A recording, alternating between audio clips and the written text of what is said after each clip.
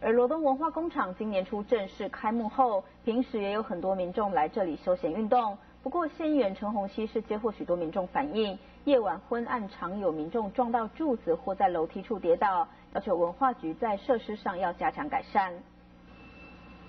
罗东文化工厂在去年举办金马奖后声名大噪，俨然成为罗东新的文化景点，而平常更是附近民众重要的休闲运动场所。不过，县议员陈宏喜表示，接获许多民众反映，夜晚的时候灯光昏暗，常有民众撞到柱子或是在楼梯处跌倒。他认为，不能因为取名为工厂就得戴安全帽才可以维护安全，在设施上应该要加强改善。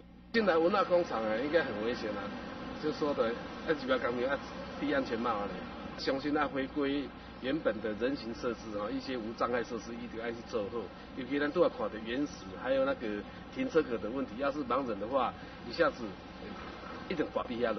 暗时咱这尤其咱那工厂里面哦，好像都很昏暗。有关民众不注意的时候，时常会踢到那个楼梯。说晚上昏昏暗暗，的运动的行的时候，不得时常会撞到那个这个这好几。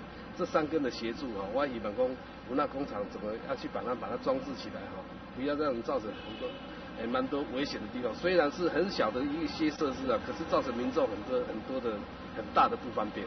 针对地方的反应，文化局表示，在楼梯跟柱子的部分会加注警语，至于其他的交通设施，也会配合整体场地进行改善。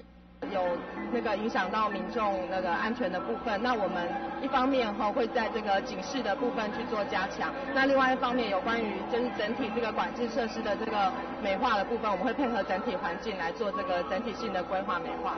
这个停车场啊，主要是要提供给在这个。工厂来参观，呃，来这个参与活动的各位民众来使用。那那也呼吁我们这个周边的乡亲不要长时间的呃这个在这个停车场停车，那让这个来参与活动的乡亲呢，这个造成停车上的不便。那在此也谢谢各位乡亲的配合。罗东文化工厂今年二月份正式开幕，现在已经成为宜兰新的地标，兼具文化展演、运动休闲跟文创产业发展的功能。而地方期待文化工厂不仅可以帮助在地文化的发展，而且还要是安全的多功能场所。宜兰新闻记者刘耀珍采访报道。